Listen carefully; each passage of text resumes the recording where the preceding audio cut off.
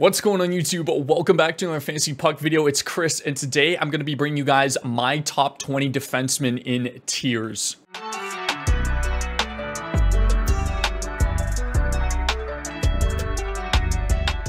All right, guys, let's get right into the video. The exact same format as the last one where it's default Yahoo scoring, except no plus minus, and we added blocks. These are defensemen, and these are the only ones that primarily have high block totals, so that's going to be very important in this list. Um, so let's be sure to keep an eye on that. But let's get right into the list, guys. Starting us off is Cale Makar of the Colorado Avalanche. Shouldn't be any surprise here. He's the only defenseman that's really a lock for over a point a game. And I believe he has a 100 point upside again this season. Uh, like, definitely like the number one D that should be off the board in every single circumstance. I don't think we've seen the signature Makar season yet. Uh, there's just so much that I like about him. He plays on one of the best teams in the National Hockey League. He's incredibly talented. He scores more than any defenseman in terms of goals. He's a lock for my number one D. Up next, guys, we have Roman Josi, and this guy is just as much of a unicorn as Brady Tkachuk. He's the only defenseman that can even touch the 300 shot range, and the only reason why he didn't the year before was because he got injured injured. 269 shots last year, 281 shots the year before. I still think he's got more in him. I'm not worried at all about Nashville. Look what Erik Karlsson did on a subpar San Jose Sharks team. I think Josi just gets the green light this year, just similar to what Karlsson had last year. I think he's a lock for 65 points. I wouldn't be worried about the injuries as well, too. He's usually pretty durable outside of last season. He's only missed 11 games since the 2018-2019 season, but he is 33 years old, guys. I, I just, I love everything about him. He's an absolute must draft for me. Rounding out our S tier, guys, we have Rasmus Dahlin of the Buffalo Sabres. We finally saw the big breakout season where he played over 25 minutes a night. He's got good shot volume, finally hit over that 200 shot range, and he's great in terms of hits and blocks as well, too. That puts him uh, above all of the guys in A because of how well-rounded he is peripherals-wise. He should be good for another 70 points, but I think there's legit point per game upside in this guy as well too. He's only 23 years of age, very durable as a player, has all the talent in the world, especially with Buffalo just getting better every single season. I love this guy. Starting off our A tier, guys, we have Dougie Hamilton of the New Jersey Devils. We got to see how good this guy is when he plays a full year. Uh, he's the only guy that can come close to Josi's shot volume, and that makes him incredibly unique. His rest of the peripherals, like his hits and his blocks, are below average, but he's elite when it comes to shots on goal and goals. There's so much upside in New Jersey. I love him in the spot that he's in. Would we honestly be surprised if this guy put up 85 points just based off the way that New Jersey's looking this season? There's a little bit more uh, injury concern than the rest of the guys in this A tier. And I believe that Luke Hughes is the real deal and could snatch that power play one spot if we do see Dougie Hamilton get injured. But for right now, he's the absolute lock, number one defenseman there in New Jersey. And I'm expecting another big year out of him. Love the shot volume, love the point totals, love the opportunity. That's why he's an A tier. Up next is Miro Heiskanen, another guy that we were really high on last season. And uh, guys, if, if Pete DeBoer can do anything, it's unlock defenseman. Uh, I like he's just he's done it so much in his past. Heiskanen just like absolutely took the reins this year with no competition whatsoever. He's great on the power play. His shot numbers are good now too. That he's the guy in Dallas. Uh, doesn't hit as much as you think, but will get you around 100 blocks. I think there's another 75 point year incoming. He could even hit in that 80 point range, but I like him for 75 plus points. Up next, guys, is Adam Fox. Finishing off our A tier, he gets bumped down to B for sure if you don't count blocks in your leagues. Uh, but he's he's just so consistent, and you've shown it over the past two seasons. I thought he could potentially be over a point a game or close to a point a game guy. I believe he's that talented, but he's just so good in real life defensively that I think it slightly takes away from his offensive upside.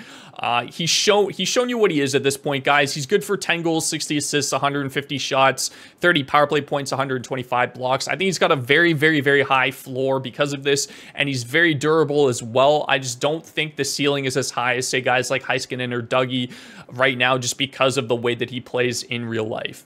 Starting off our B tier, guys, we have Erik Karlsson. Again, doesn't have a picture yet in his Pittsburgh Penguins jersey, so just bear with me on that. Uh, I wanted to rate him high enough because of the 100 point season, but there's just so many red flags for me, guys. I'm just very unsure of the situation. He's typically injury prone, and he's now 33 years of age. I'm, I'm absolutely shocked he played a full 82 last season, and you got to remember that he had the green light and sacrificed every element of defense just to be able to put up those point totals last year. I think the talent is there, absolutely, especially if he can stay healthy. Um, but did we forget that Chris Letang still exists on this team, guys? I think he's Karlsson is the clear-cut power play one defenseman, but Letang should still eat into his five on five minutes. Uh, I think if he can surpass the injury history and stay healthy, he's good for at least 70, 75 points, and he jumps to A tier. But I personally don't think it's going to happen just based off the history and the fact that, like I said, he's now 33 years of age.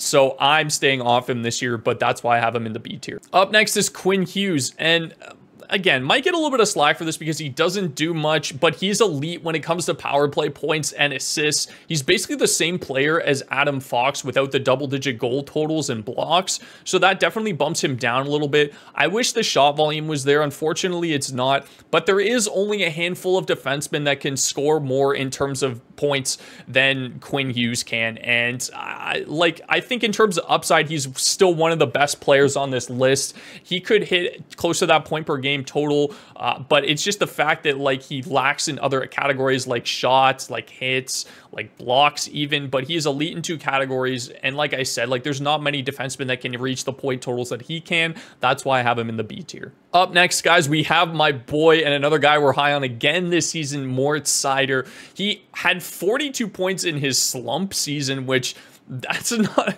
like 42 points is pretty solid for a defenseman. I don't think we've seen the breakout season yet offensively that I think he has in him. His floor is absolutely insane if you look at his peripherals. Like the guy is just a monster on the ice, very durable as well too. Goes out and crushes people at every single game. I think like there is 60 plus point upside in this guy. We haven't seen it yet, but Detroit is starting to trend upward, especially bringing in guys with more talent like DeBrincat. I think he's the clear-cut power play one guy there as well too. Um, but it's just the fact that, again, he hasn't really shown this breakout season yet. But in terms of his peripherals and the fact that he's a lock for 40 points, I have him in the B tier. I think he's a very, very, very solid option. And I think you can run him as a power, as your number one defenseman, especially in leagues that count blocks and hits. Uh, I absolutely love this guy. Up next, we have a guy that Mike is super high on this season, Mikhail Sergachev. He finally got handed that number one role last year where he saw a big increase in his time on ice. Uh, Mike's all in on this guy, and I would be too, honestly, if we know for sure that he's the number one guy there now. I think that we're, we're kind of jumping the gun a little bit in terms of Hedman. Um, but I, am really excited for him. He was power play one the majority of the stretch down towards the end of the year. I love his floor as well too. Um, but I'm doubting the ceiling in terms of point production a little bit. I need to be able to see it again in order for for me to say yes, Sergachev can hit above that 65 point range. Uh, I'm, I'm, confident that, like I said, I really like his floor, especially in terms of his peripherals. Um, but he should be around that 150 mark in each of those categories: shots, hits, and blocks.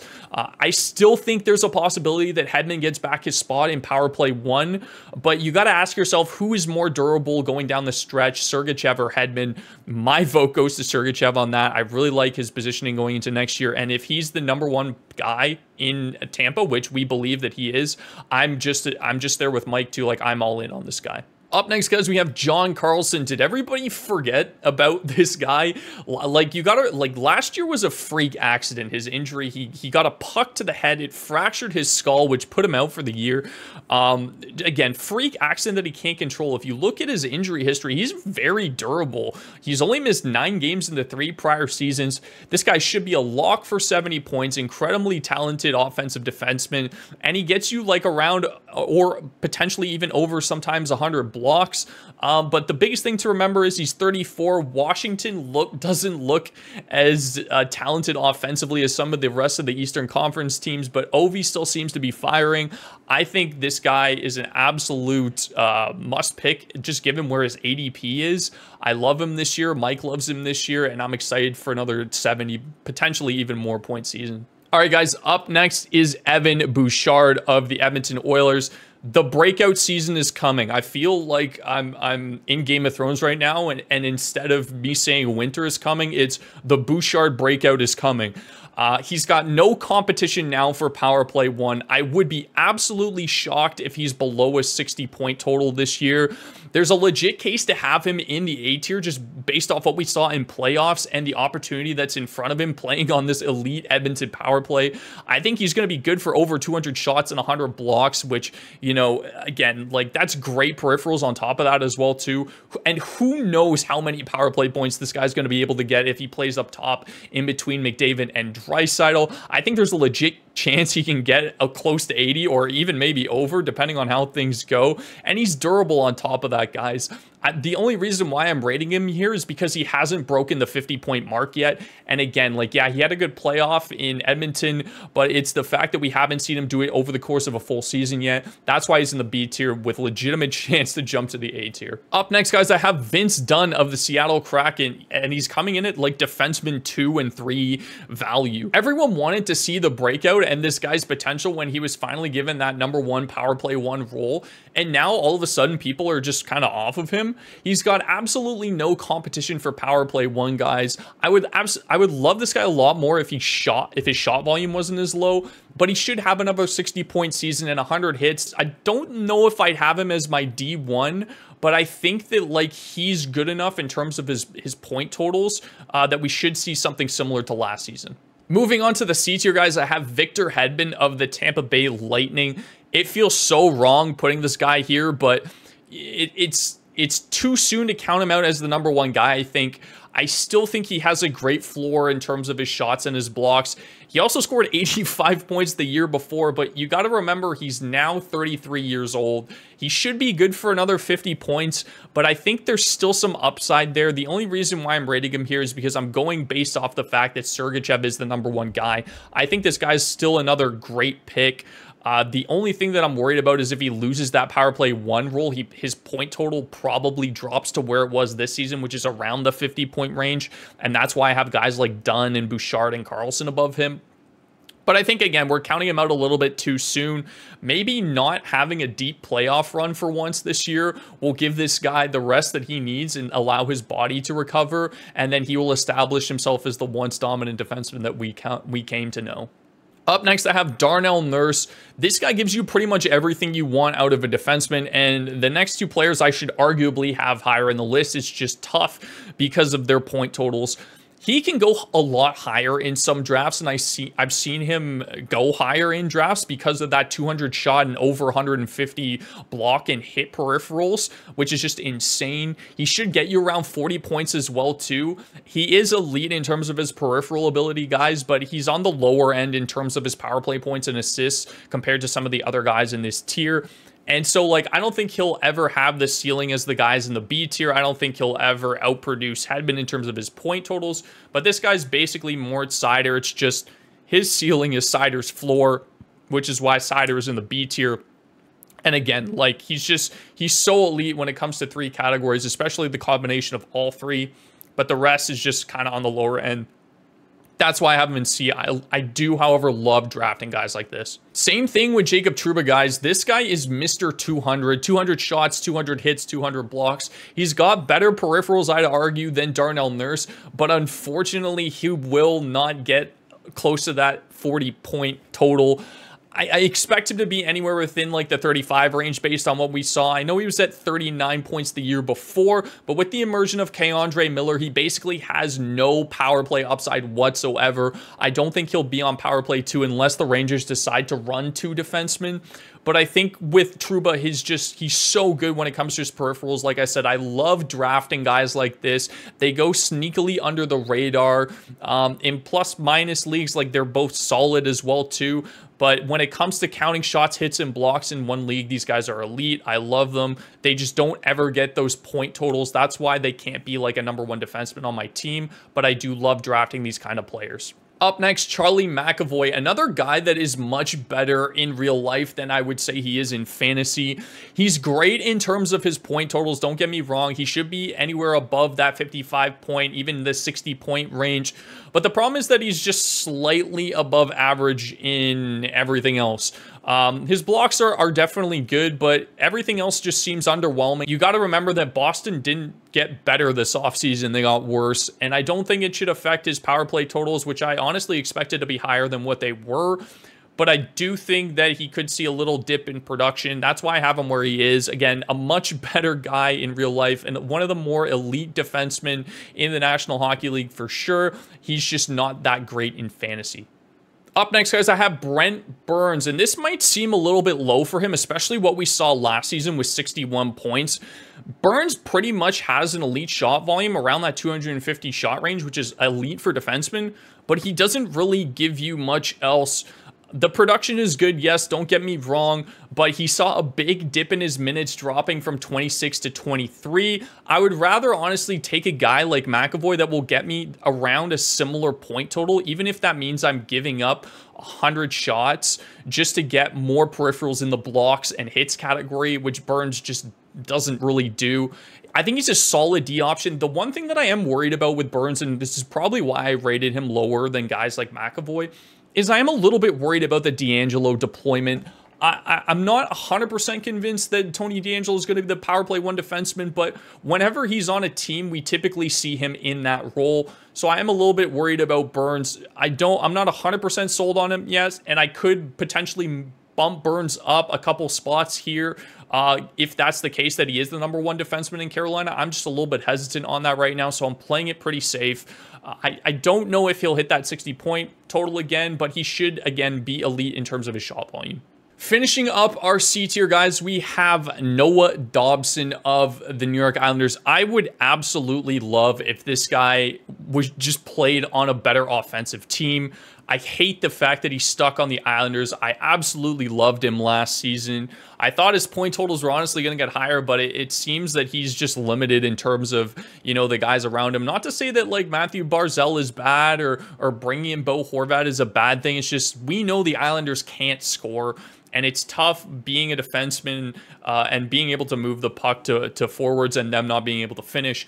But he's a very, very safe option as a power play one defenseman. That's an important thing to remember as well, too, guys. He is the number one guy there in the uh, in New York now. He should be around that 50 point range. I like him a lot more than the other guys in that 50 point range. Guys like Petro, guys like Theodore, um, just because of the fact that his shot volume is a lot higher. Uh, he still gets a good amount of blocks as well, too, guys. But I, I, I would have him a lot higher if, like I said, uh, he does have that breakout season. He's still very young, so I think there's still some ceiling left in him potentially. He's just got to show it to me. Otherwise, he's a great pick for a 50, range, a 50 point range defenseman with a high shot volume. And guys, this might come as a surprise to you, but in the D tier, I have Zach Werenski of the Columbus Blue Jackets. I could have went with other safer options here. I could have even gone like Montour or Morrissey, but I feel like those guys are more, they just had like an outlier one-year wonder season. Uh, and Ekblad I could have put here as well too, but Ekblad is hurt again going into next season, and he already has an extensive injury history.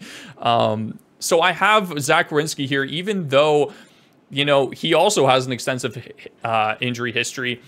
I like him a lot. I really do. He has a high shot volume whenever he plays again, you could pair that with a power play one defenseman, and that's that's great, guys. Like I, I, think he can hit 60 points if he stays healthy. That's the key caveat: is can he stay healthy? We haven't seen him yet deployed on the power play with a guy like Johnny Gaudreau. Just that's why I have him at D, is because I like his upside the most out of all the other options. And like I could have gone with a safe uh, option like Petro, but I think that like the thing that sets Werenski apart from Petro is the fact that Vegas just loves to roll their power play.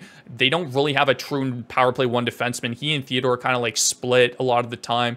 And Werenski is the number one guy there. So I'm big on Werenski this year, along with some of the other FP members. That's going to do for this video, guys. Thank you so much for watching. Let me know in the comments down below where I went wrong in this tier list. Do you think Werenski's a legit uh, um, potential for a top 20 defenseman? Who would you have higher? Who would you have lower? Did I mess up any of the tiers?